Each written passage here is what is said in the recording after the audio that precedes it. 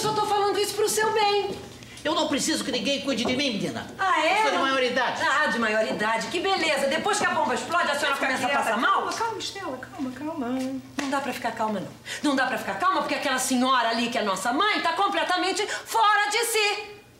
Olha aqui, menina. Fora de si está tua avó, viu? Ah, é assim? É, eu tentando poupar a senhora e a senhora não tá querendo ver. Eu não quero que a senhora veja a situação do Alexandre e minha mãe. Porque o seu filho querido está no meio de assassinos, de bandidos, de marginais. E eu acho que a Você não senhora acha nada, Estela, cala a boca. Chega, não responde, você não sabe o que tá acontecendo. A gente já tem motivo suficiente pra estar nervosa. Ela tá nervosa e eu tô achando que Cala a mãe boca, tá... cala a tá boca, cala a boca!